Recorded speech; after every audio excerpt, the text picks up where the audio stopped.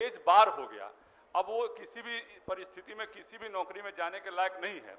लंबे समय तक उनका सेवा लिया गया और उसके बाद उनको सेवा समाप्ति कर दी गई। नमस्कार, मैं प्रिंस कुशवाहा, फ़र्स्ट बिहार झारखंड देख रहे हैं। देखिए, भाजपा एमएलसी जीवन कुमार ने अतिथि शिक्षकों को लेकर सरकार से रिक्वेस्ट किया है, कहा है कि देखिए, इन लोगों की अब उम्र भी समाप्त हो गई है।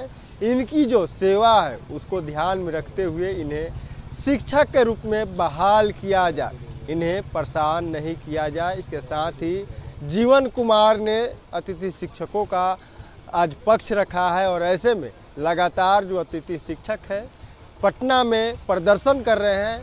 आज लाठी भी चली है अतिथि शिक्षकों के ऊपर। इसके साथ ही तमाम जो शिक्षक हैं, लगातार अपनी मांग को लेकर पटना के विभिन्न जगह पे प्रदर्शन करते रहे हैं। सरकार को भी ज्ञापन सौंपते रहे लेकिन अब उनका मामला सदन में आज गूंजा है। इसको लेकर जो जीवन कुमार हैं एमएलसी हैं भाजपा के उन्होंने सरकार को अपने सरकार को इस बात पे कोई के, केंद्रित किया है कहा है कि इस पर ध्यान देने की ज़रूरत है। जो अतिथि शिक्षक हैं वो पढ़ाते आए हैं लंबे समय तक सरकार को सेवा देते आए हैं और इसके साथ ही अब जब उनकी उम्र सीमा समाप्त हो रही है नौकरी के फॉर्म कहीं नहीं भर सकते हैं तो ऐसे में उन्हें हटाना उचित नहीं होगा। क्या कुछ कह रहे हैं जीवन कुमार पल्यापुन के बयानों को विभाग में कई लाख बहाली, एक लाख से करीब पौने दो लाख बहाली भी हाल में हुई है, जिसमें अतिथि शिक्षकों की संख्या बहुत कम थी और छः साल अतिथि शिक्षक काम किए, उनका एज बार हो गया। अब वो किसी भी परिस्थिति में, किसी भी नौकरी में जाने के लायक नहीं है। लंबे समय तक उनका सेवा लिया गया और उसके बाद उनको सेवा समाप्ति कर दी गई।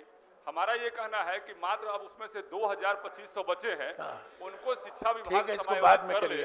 आपने साफ़ तौर पे सुना जीवन कुमार कहते हुए जा रहे हैं कि देखिए तमाम जो शिक्षक हैं उनको जो अतिथि शिक्षक हैं उनको बहाल रखा जाए।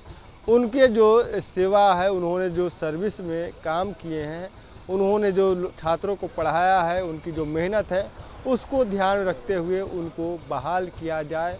और उन्हें हटाया नहीं जाए। अतिथि शिक्षक पूरे बिहार में प्रदर्शन करते रहे। पूरे बिहार के अतिथि शिक्षक पटना भी आते रहे। मुख्यमंत्री हो, शिक्षा मंत्री हो, तमाम ऐसे जगह हो, जहाँ पे उन्होंने जाकर ज्ञापन भी सौंपी है। लेकिन अब इस मानसून सत्र में अतिथि शिक्षकों का जो बात है, वो जीवन कुमार ने उठाया है और कहा है कि सरकार को इस पर इसको संज्ञान में लेना चाहिए और इस पर अपनी फैसला देना चाहिए अतिथि शिक्षकों के पक्ष में। अतिथि शिक्षक आज दर दर भटक रहे हैं और अतिथि शिक्षकों को फिर से बहाल करना चाहिए। बहरहाल इस खबर में इतना ही इसी तमाम खुल के मसा बने रहे। हैं फ़र्स्ट बिहार झारखंड देख रहे हैं।